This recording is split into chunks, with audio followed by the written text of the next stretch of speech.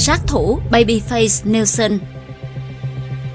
Đó là kẻ bị truy nã ráo riết nhất nước Mỹ, một tên gangster khát máu, thậm chí còn bị bố già Al Capone tống cổ ra khỏi băng đảng vì quá bạo lực. Vào ngày 20 tháng 4 năm 1934, cảnh sát quyết định bắt người. Được tin báo cho biết hắn đang ở tại một khách sạn bên hồ tại Wisconsin. Cảnh sát triển khai chiến dịch bí mật nhằm bắn hạ đối tượng. Nelson có gương mặt tròn, cặp mắt to và chiếc mũi nhỏ. Bọn giang hồ cùng băng đảng gọi hắn là Babyface Nelson. Nelson gương mặt trẻ thơ. Trông hắn chẳng hề giống một tên tội phạm. Khi các đặc vụ đến nơi, họ dán mắt vào ba gã đàn ông. Những người đó thực chất là đặc vụ FBI và cảnh sát địa phương đã bị bắn hạ chỉ trong vài giây, khiến sát thủ Babyface Nelson và những kẻ đồng lõa ngoài vòng pháp luật có được cơ hội trốn thoát kẻ sống ngoài vòng pháp luật. Thập niên 1930 có lẽ là kỷ nguyên vàng của bọn tội phạm xã hội đen gan lì sống ngoài vòng pháp luật. Thế nhưng đó cũng là thập niên chứng kiến sự trỗi dậy và sụp đổ tất yếu của những kẻ xấu xa như Bonnie và Clyde, John Dillinger, Ratty Boy Floyd và Babyface Nelson. Tính trong số những kẻ khét tiếng hung bạo trong nhóm, Babyface Nelson chào đời với tên khai sinh là Lester Joseph Gillis ở Chicago, bang Illinois, miền Bắc nước Mỹ vào ngày 6 tháng 12 năm 1908. Theo hồ sơ tội phạm Cục Điều tra Liên bang Mỹ FBI, Babyface Nelson bắt đầu cuộc đời tội phạm của mình với cuộc sống lang thang trên đường phố Chicago cùng với một nhóm thiếu niên dữ dằn và lần đầu tiên ngồi tù năm 1922 khi mới 14 tuổi. Cuộc đời gây quá nhiều tội ác của Babyface Nelson kết thúc khi hứng chọn một loạt đạn ở tuổi 25 nhưng trước đó hắn được giới chức chính quyền coi là một trong những kẻ giết người tàn nhẫn nhất nước Mỹ. Trước khi trở thành một kẻ giết người máu lạnh, Babyface Nelson bắt đầu ăn cắp lớp ô tô và cả chiếc ô tô, buôn rượu lậu và thực hiện các vụ cướp có vũ trang. Vào một dịp đầu năm 1930, hắn và đồng bọn đột kích vào nhà của một chủ tạp chí giàu có và ăn cắp những món đồ trang sức trị giá tương đương khoảng 3 triệu USD ngày nay. Cuối năm đó, hắn tiếp tục ăn cắp một kho đồ trang sức khổng lồ từ chính vợ thị trưởng Chicago. Trong khi đó, chỉ vài tháng sau vụ trộm tài sản trị giá 3 triệu USD, Babyface Nelson thực hiện vụ cướp ngân hàng đầu tiên của mình. Hành động được lặp đi lặp lại trong vài năm tiếp theo cùng với băng đảng ngoài vòng pháp luật của mình.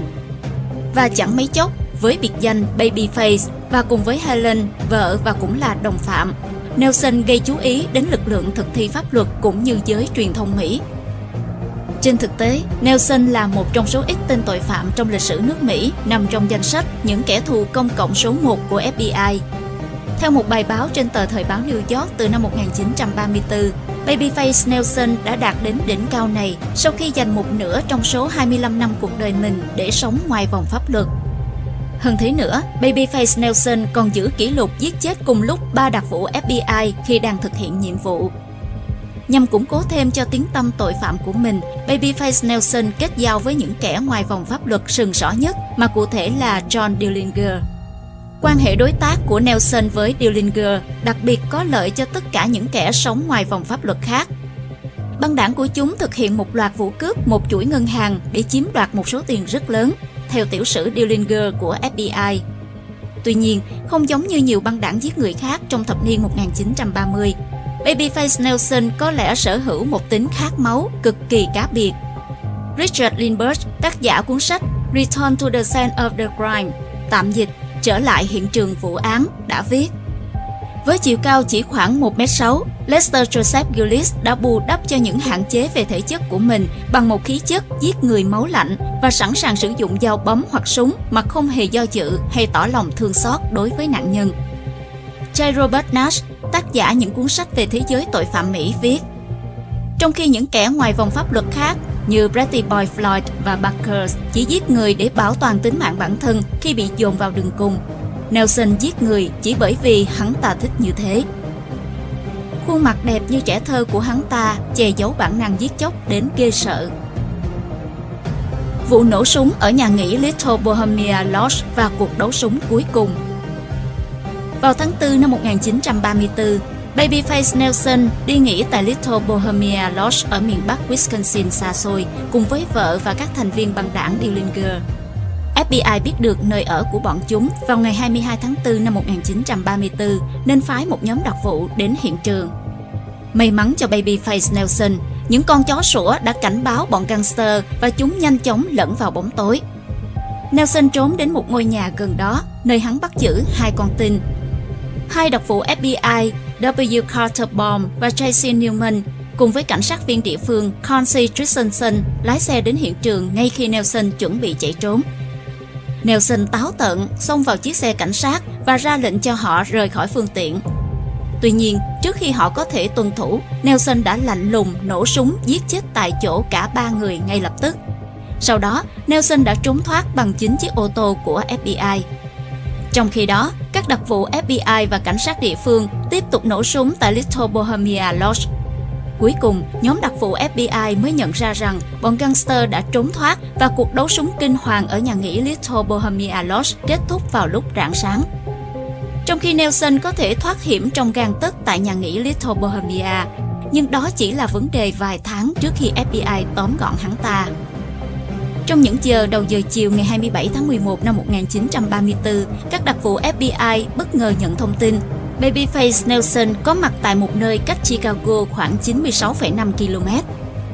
Vài phút sau, một đặc vụ khác phát hiện hắn ta lái chiếc ô tô cảnh sát đánh cắp và gắn biển số xe khác. Đó chính là thời điểm kết thúc cuộc đời giết người không gớm tay của Babyface Nelson. Không lâu sau đó, thanh tra Samuel P. Cowley, lãnh đạo văn phòng FBI ở Chicago, nhận được tin cấp báo Babyface Nelson có thể đang tiến về Chicago trong một chiếc ô tô cảnh sát đánh cắp. Cowley ngay lập tức phái hai đặc vụ, Bill Ryan và Tom Magdet đi tìm chiếc xe của Nelson và leo lên chiếc xe thứ hai cùng với đặc vụ Herman S. Hollis. Như vậy là chỉ hơn một giờ sau cuộc chạm trán ban đầu của FBI với Babyface Nelson, hai đặc vụ Ryan và McDade đã nhanh chóng phát hiện ra Nelson đang lái xe trên đường cao tốc và thế là cuộc truy đuổi quyết liệt bắt đầu. Sau đó là những tiếng súng nổ và đặc vụ Ryan cố gắng xoay sở để bắn vào bộ tản nhiệt chiếc xe ô tô mà Nelson đang cầm lái, rồi lao thẳng về phía trước để chặn đầu xe tên sát thủ máu lạnh.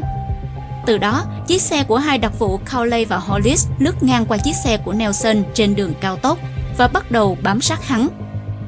Do chiếc xe bị vô hiệu hóa, Nelson tấp vào lề đường ở lối vào công viên Northside ở Barrington, bang Illinois. Lập tức, Cowley và Hollis dừng xe cách Babyface Nelson khoảng 45 mét. Nelson và Chase đã nổ súng dữ dội trước khi các đặc vụ kịp chui ra khỏi phương tiện của họ. Cuộc đấu súng kéo dài 4 đến 5 phút đã cướp đi sinh mạng của đặc vụ Hollis. Đặc vụ Cowley cũng bị trọng thương trong cuộc giao tranh. Babyface Nelson bị lĩnh 17 vết thương do súng bắn và được đồng phạm John Paul Chase giúp đỡ vào chiếc xe FBI đánh cắp rồi lái đi. Cuối cùng, do mang quá nhiều vết thương trên mình, Babyface Nelson trút hơi thở cuối cùng vào khoảng 8 giờ tối ở Wilmette, bang Illinois.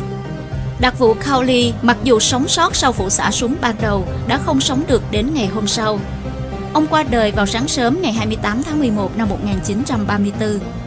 Sau đó cùng ngày, nhờ một tin báo nặc danh, các đặc vụ FBI tìm thấy thi thể Babyface Nelson nằm trong một con mương cạnh một nghĩa trang gần trung tâm Neos, bang Illinois. Cô vợ Helen của Nelson giữ mạng được trong cuộc đọ súng kinh hoàng nhờ giấu mình trên một cánh đồng né tránh những loạt đạn bay xé gió giữa những kẻ chạy trốn và đặc vụ FBI. FBI bắt giữ Helen vào hai ngày sau trận chiến định mệnh đó. Helen bị kết án cải tạo một năm và một ngày tại một trại cải huấn liên bang giam riêng những nữ phạm nhân nằm cách Detroit, bang Michigan khoảng 80,5 km.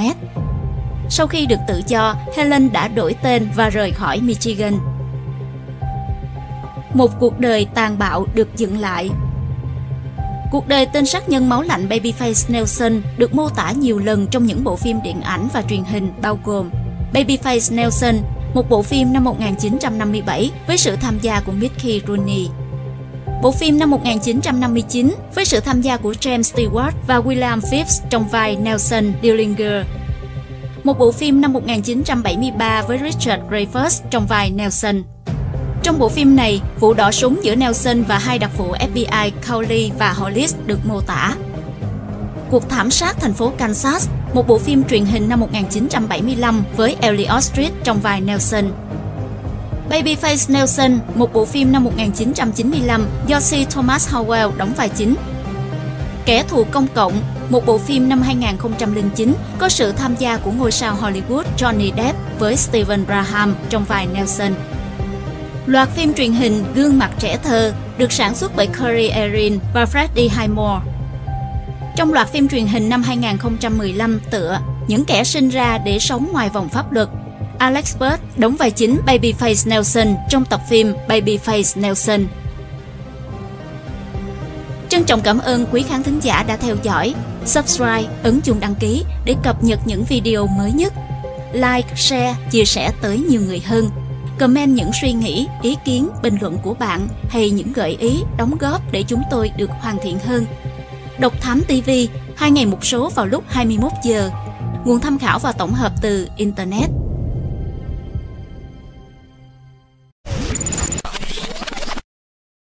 Hành trình khám phá những vụ án kinh điển và bí ẩn cùng Độc Thám TV.